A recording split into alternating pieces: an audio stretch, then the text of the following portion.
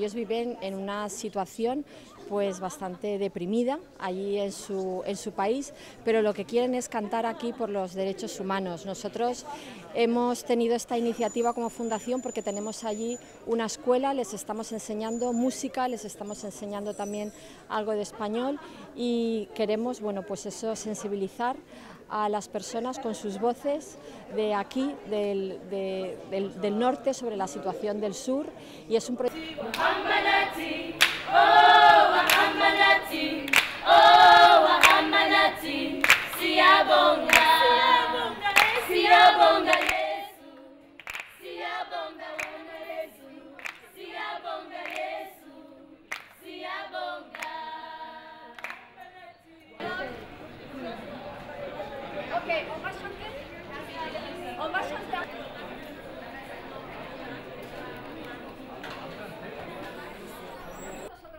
Aplauso a ellos.